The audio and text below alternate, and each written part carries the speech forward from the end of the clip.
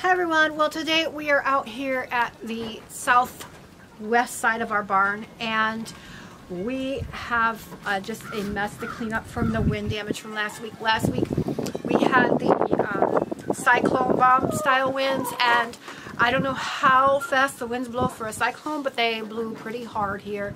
We have things scattered everywhere and today we're going to be out here cleaning that up a little bit more. Um, we had some damage to the chicken run and the greenhouse is missing. Um, it's not missing, it's here, but it's missing from its spot, and its spot is uh, pretty bad. Things have blown everywhere. Everything that was inside the greenhouse is out. And so I've let the chickens out, means I'm going to be out here. I can watch them and uh, keep an eye out for any predators. So they're going to be out free ranging today. They're going to love it. It's about 34 degrees, so it's warmer than it's been here in a very long time. So it's the perfect day to get out here and get things done. We thought we'd bring you along and show you the not so pleasant part of homesteading where you have to go out and fix things and get things done. So come along with us and we'll show you what we're going to be working on and we're going to get started. So directly in front of me we have this mess here and um, I'm not sure kind of what board that was on, but there it is. It's there now. And um, we had some wood stacked from a project we were working on, and it has blown everywhere. And um, the wheelbarrow was there, but it didn't blow. But part of our uh, the black roofing, part of that is over there. And then if you look over here, all of this over here was stacked neatly inside the greenhouse, and that area was the greenhouse. I'll take you over there show you where it sat and how we had it um, contained uh, to not blow away. And it did. So we're going over there and I'm going to show you that. And we're just going to work on getting this area all cleaned up and put back together today. Okay, so right here there is a pad of stone. And you can see here there's our new little guy, his first crow, so that's pretty exciting. We um, we just picked up a new rooster yesterday, and we did have a rooster previously, and he is over there crowing, so that is nice. Um, him getting settled in, and that's another reason I'm out here working today, so I can make sure that he is adjusting well to the rest of the flock. So here is the pad where the pea gravel is, where the greenhouse set. Now it has blown on us before a little bit, so we were cautious and we took um, these posts here, these T-posts, and we put two of them in, one on each side of the front. And then we had taken the legs and stuck the legs inside blocks, only half, half size cinder blocks. And uh, I can see there is a zip tie and there is still a zip tie right here on uh, this post. Um, and then there's also two fence posts in the back that we had it tied to with the ropes that come with it. And so we had it zip tied several times around those posts on the inside so that it wouldn't move. And then the legs were stuck in the cinder blocks. There's one, there's one that it's, they're just broken in half. And I don't know if you can see, let's see if I can adjust the lens to go that far. But right about here, there is the cinder block that is still whole and it's coming down this leg to the greenhouse. So it is still on the greenhouse. We'll go over and take a closer look. And I can tell that my fabric is torn in a couple places. So it got dislodged from these two posts. This is a uh, about a four foot three, three and a half to four foot metal fence behind us. And uh, those are the fence posts for it there. And over here, you can't really see it. There we are. There's one, and there's one right here. Um, so it was tied to all four of these posts, and you can see the string is still hanging right here, so it tore off. And um, I don't know where the other string is but it got dislodged from the blocks, dislodged from the fences, up over the fence and into the thicket of trees. There we go, into the thicket of trees. And this is it, you can see this big tear here. and this big there's a big tear at the top so we're gonna go over assess the damage and figure out the best way to uh, try to get it out of there and get it back and so I can take a good look at it and see if I'm actually even going to be able to use it this year now it is March 2nd and in a couple of weeks I would have liked for um, it to be able to start housing seeds out here and I see that that's probably not going to happen and I'm not sure how we're going to make that happen. Um, so I'm going to have to look and see if I can find the booklet that goes to it and um, maybe find out the manufacturer and see if they still sell those. So first thing I'm going to do though is I'm going to come out here and I'm going to start cleaning and restacking everything that was in the greenhouse and get that all cleaned up and put in the barn out of the way and then I'm going to clean up uh, some more things that are out here that got blown away and then we're going to get in there and move that greenhouse. So okay, I am going to get started with the cleanup of the things that were inside of the greenhouse before it blew over. These trays were stacked neatly in there and sorted, but now obviously they are not. And we've also had some rain and ice uh, mixed since then. So it's 34 degrees, but it's not real sunny, so some things are still stuck in the ground and some things are obviously broken and I can't use them again so I have to sort out what is good and what is not good. And here is that string that goes to the other side of the greenhouse. We couldn't find it. It is still stuck on the stake that went into the ground. And um, but obviously it's been torn off of the greenhouse. And when that happens, I believe the corner of the greenhouse is torn off as well. And you just see me put away another small metal greenhouse that I use inside to start the seeds on. And a lot of that is still missing and a couple pieces were broken. So I'm not sure uh, if we're going to use that as well. So just a couple more things to do here and this area is all cleaned up. We are now going to turn our attention over to in front of the run where there is some building debris that was stacked there and the wheelbarrow. You can see all the straw that was in the wheelbarrow. It's all over the place. So I think actually laying on its kind of top. And there's the block that was at the end of this leg right here. It has just slid down, so we have to take that off. And then I think our best bet is to try to remove the top because we're not going to move it with the top on and the walls. So we have to take that off and I'm to take that in the house and warm it up and see what I can do to fix it if I can. But I think our best bet is to just take that top off before we try to move it. So actually what we did is we took the legs off first. Um, that seemed to make the most sense. And then we were able to remove the top frame. And it's super light, guys. This is just aluminum, and so it's super light. He hands that over the fence to me, and I just put it back in the place. We are not going to put this back together just because um, we want to assess everything else. We're just cleaning up today. And then next, uh, this allowed the top to be freed from the trees without any further damage.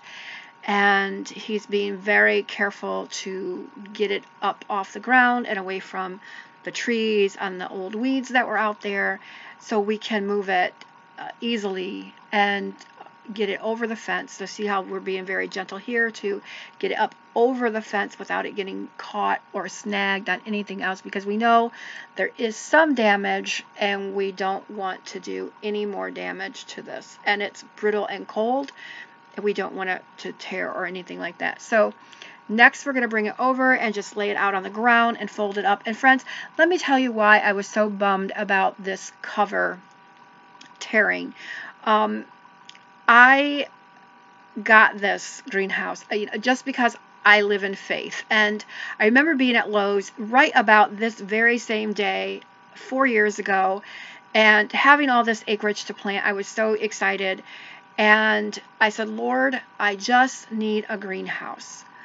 And I literally turned the corner and they had these two greenhouses in these boxes and they had the bright yellow clearance sticker on them. If you know Lowe's clearance sticker, it will say now price at the top and regular price at the bottom, or it says was price.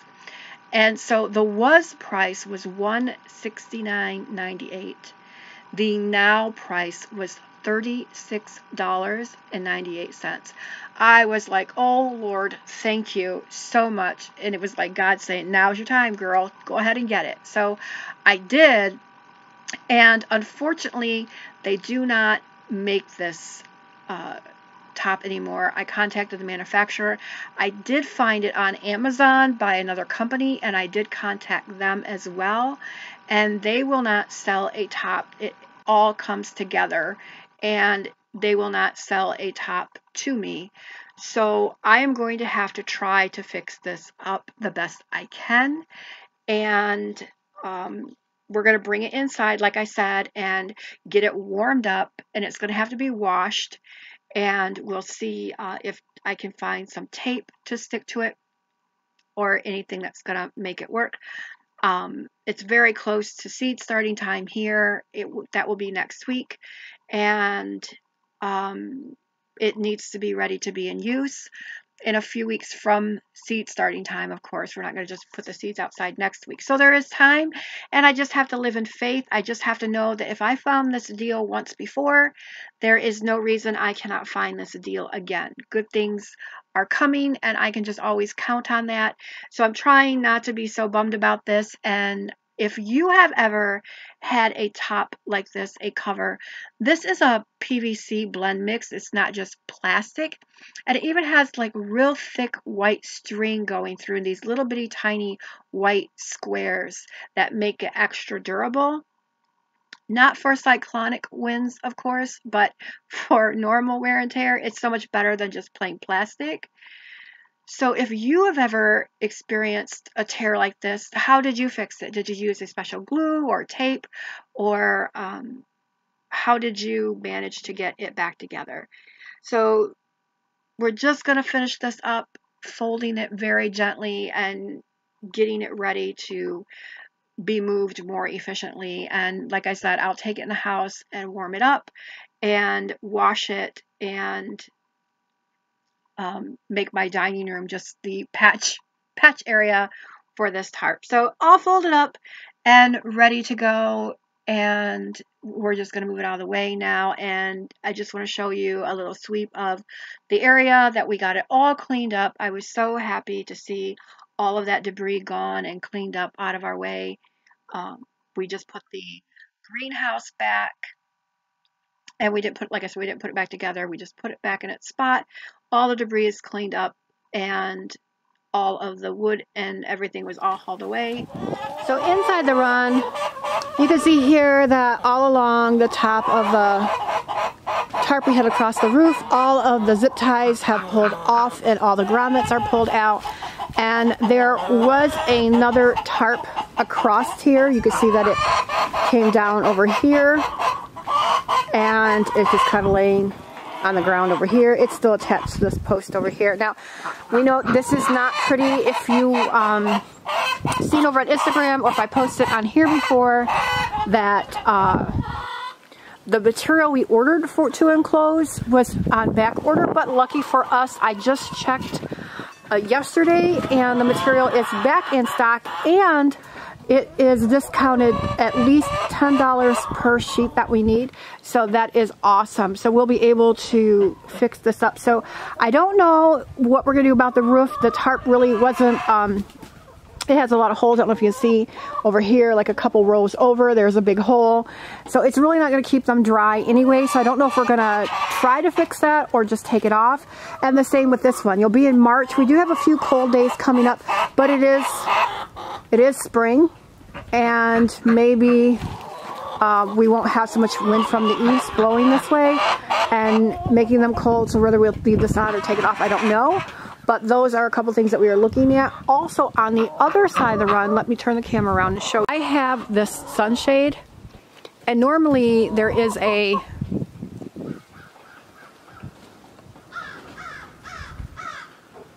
a post here, this A-frame that holds it up and it acts as a canopy keeping uh, any um, aerial predators like hawks away.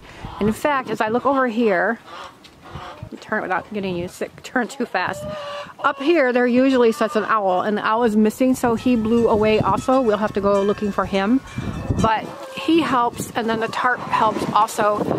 Uh, it's called a sunshade. Now we'll link it down below. Well, all of the grommets have pulled out and they're attached to the grommets on the roof tarp that is also destroyed. So there's no use trying to do that. We really didn't want to poke any holes into this wood um, because that's not what it's here for and I don't want it to start to uh, decay. But we are going to use just regular building staples um, so they're easy to pull out, easy to patch the hole. Uh, couldn't decide if we wanted to just take it down. It is the first week of March and typically we should be having warmer weather very soon. But March for us is also a time of high winds and ice storms. It happens every year so we decided um, it's not pretty, but the comfort of the chickens is most important. So we're gonna go ahead, staple it back up, leave it up for a couple weeks, and then, you know, when the weather improves in a couple weeks, we can certainly take it down. But for now, they can be well protected. And um, like I said, we just built this run last summer. We've never had a run before. We didn't have a need for a run. So all this is new and um, finding the materials that work best is, is difficult as well. But we've learned a lot and now we are ready for next season and we can start doing the work now to prepare for next winter. So we're just to go ahead and use those building staples, put it in, and leave this up. The roof we are not going to do anything with. For the most part, the middle section is still doing a little to keep it dry in there. But when there's heavy rains and the snow, we have to, you know, beat the snow off, but then when the snow melts too, it still drips down. It doesn't keep it dry like we want, so we do have a, a different plan for that. So we're just going to leave it. We're not going to do anything. We're not going to staple it. We're just going to let it um, do its thing. If it comes off, it comes off. But the walls all the way around are going to protect high winds. And if it's wet, they can go in the coop to stay dry. There's also a mini roof over the back entrance to their coop.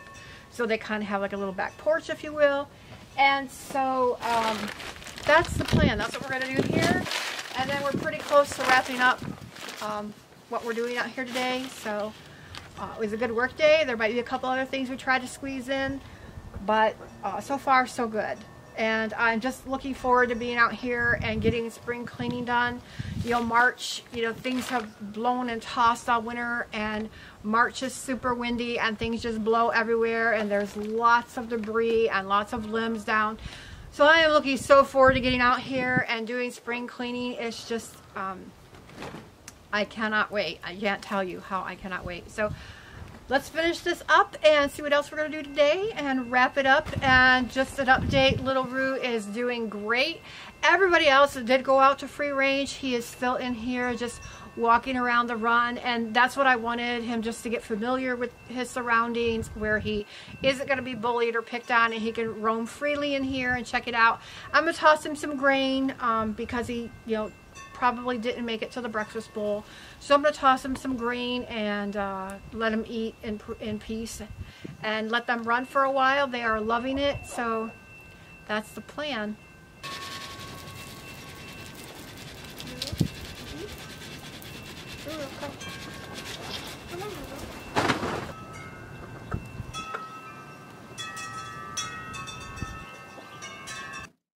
So my husband brought his big muscles over, and this is quite um, tough to do. We had to get some snow off, and he got that put back up, and um, it's the wind starting to pick up, so that was pretty tough to do. So he did that, and we're going to put in the staples, and I'm so glad we did because immediately the wind changed directions, and it got really cold outside, and it was a good thing. I did find the owl and I did put him back, so that was a good thing.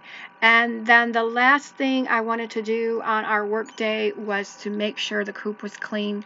I like I said, I try to keep my coop very clean and very dry, and uh, the forecast is really cold in the teens for the high for the next few days. So want to keep them clean, warm, and dry for now. Everyone, that is it for this video. Thanks so much for coming along on our big cleanup day. It was a great success. We did get a lot of things and a little bit more crossed off the list. So we got the greenhouse assessed and we're going to take a look at that tarp inside and see what we can do. Um, all cleaned up out here. We got the run put back together. He did actually put some more staples in the top and we got the sides so they're going to stay nice and warm. The girls were able to come out in free range and have a ball, find some bugs and things and they're very happy. The coop got cleaned and um, so everything went well and we did get a lot accomplished. So thanks so much for coming along. Please like and subscribe if you like this kind of videos. We don't want you to miss any part of the journey. And we look forward to seeing you all soon. Be blessed and be safe.